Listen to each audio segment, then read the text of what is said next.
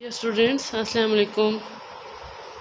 Today our topic is homeostasis in. Plant के अंदर homeostasis कैसे होता है? प्लांट कैसे अपने इंटरनल कंडीशन को मेंटेन रखते हैं? डिफरेंट मैकेनिज़्म है तो फिर अब आज हम पहला मैकेनिज़्म पढ़ेंगे।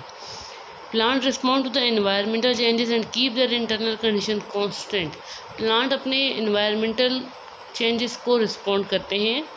ठीक है जैसे नॉर्मल बाकी सारे एनिमल्स जो हैं वो रिस्पॉन्ड करते हैं अपने एक्सटर्नल इन्वायरमेंट को।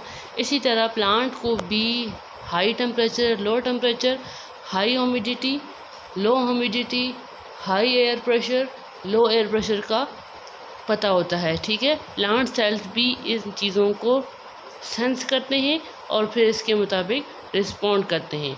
तो प्लांट भी अपने इन्वायरमेंटल इन्वायरमेंट के अंदर जो चेंजेस हो रही होती हैं, उनको सेंस करते हैं, फिर उसके अकॉर्डिंग रिस्पॉन्ड करते हैं और अपनी जो इंटरनल कंडीशन है, उसको स्टेबल रखते हैं।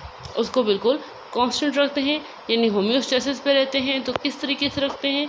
अपने अंदर जो उसकी एक्स्ट्रा चीज़ें प्रोड्यूस होती हैं, वो कैसे रिमूव करते हैं? और जो यूज़फुल होती हैं, वो कैसे यूज़ करते हैं? और अगर लो लो टेम्परेचर आ जाए ठीक है तो फिर कैसे बैलेंस करना है? और अगर हाई टेम्परेचर आ जाता है, ज़्यादा गर्मी होती है तो फिर प्लांट ने अपने आप को कैसे सर्वाइव करना है? ये सारी चीज़ें जो हैं होम्योस्टेसिस के अंदर आती हैं। और प्लांट जो है, वो भी होम्योस्टेसिस करते हैं, यानी अपने इंटरनल कंडीशंस को स्टेबल रखते हैं। तो पहला जो प्रोसेस है, वो है removal of extra carbon dioxide and oxygen from the plants कि कैसे प्लांट के अंदर दो तर, दो ऑक्सीजन दो गैसेज जो हैं, वो प्रोड्यूस होती हैं, एक कार्बन डाइऑक्साइड और एक ऑक्सीजन तो कैसे कार्बन डाइऑक्साइड और ऑक्सीजन अगर एक्स्ट्रा हो जाए तो उसको कैसे रिमूव करना है? तो इस, इसके लिए प्लांट के अंदर क्या मैकेनिज़्म है वो हम देखते हैं। हम जानते हैं कि प्लांट जो है फोटोसेंथिस भी करते हैं और रिस्पायरेशन भी करते हैं। फोटोसेंथिस और रिस्पायरेशन दोनों अपोजिट प्रोसेस है। यानी ये रिएक्शन हमारे पास रिवर्सिबल रहता है इसमें कार्बन डाइऑक्साइड और वाटर कंबाइन होते हैं chlorophyll in the presence of light तो हमारे पास कार्बोहाइड्रेट ग्लूकोज और ऑक्सीजन प्लस एनर्जी मिलती है। अब हमें पता है कि फोटोसिंथेसिस डे टाइम में होती है लाइट की मौजूदगी में। जब हम बैकवर्ड रिएक्शन की तरफ़ आते हैं तो अगर हम ये रिएक्शन देखें तो रिस्पायरेशन के के अंदर क्या होता है कि ग्लूकोज ऑक्सीजन मिलकर कार्बन डाइऑक्साइड और वाटर को प्रोड्यूस करती हैं, ठीक है? यहाँ पर कोई लाइट ज़रूरत नहीं होती रिस्पायरेशन को प्रोसेस होने के लिए, ठीक है? तो फोटोसिंथेसिस जो है वो जस्ट डे टाइम में होता है, जबकि हम रिस्पायरेशन की बात करें तो ये डे टाइम में भी होता है और रात को भी हो रहा होता है। तो फोटोसिंथेसिस के रिज़ल्ट में जो ऑक्सीजन प्रोड्यूस होती है, वो बाय प्रोडक्ट प्रोड्यूस होती है थोड़ा सा प्लांट यूज़ करते हैं, बाकी इस ऑक्सीजन को अपनी बॉडी से आउट कर देते हैं, ठीक है?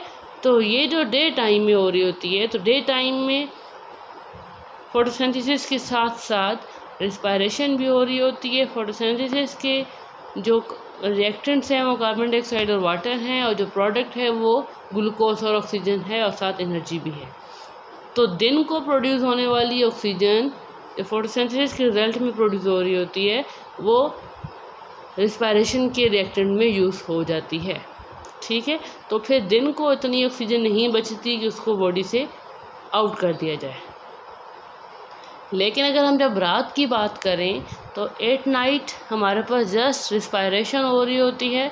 तो रिस्पायरेशन के रिज़ल्ट में जो रिस्पायरेशन ऑक्सीजन को यूज़ करती है इन्वायरमेंट से ऑक्सीजन ली जाती है और उसके रिज़ल्ट में कार्बन डाइऑक्साइड को बॉडी से आउट किया जाता है।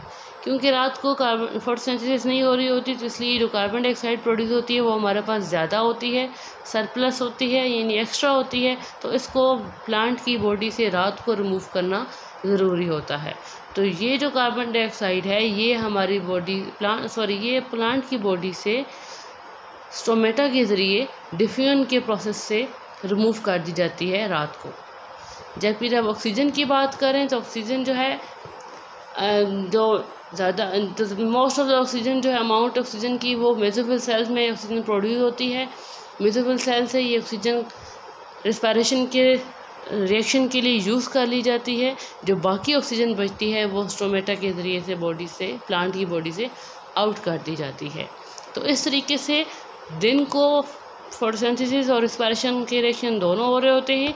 इसलिए कोई ऑक्सीजन जो है, वो सरप्लस नहीं होती। ऑक्सीजन जो है, वो यूज़ हो रही होती है, इसके साथ साथ कार्बन डाइऑक्साइड भी इसी रिएक्शन में यूज़ हो रही होती है, क्योंकि ये दोनों रिएक्शन अपोजिट हैं एक दूसरे के।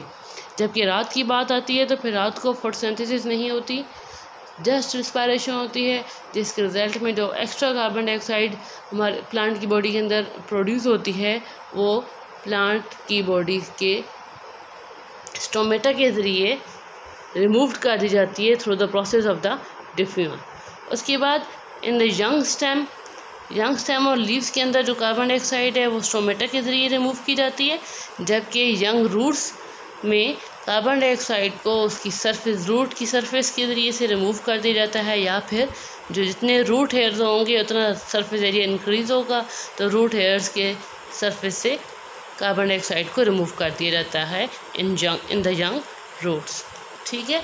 तो ये था पहला प्रोसेस जिसमें carbon dioxide extra carbon dioxide और ऑक्सीजन को डिफ्यून के ज़रिए से स्टोमेटा के अंदर से प्लांट की बॉडी से आउट कर किया जा रहा है।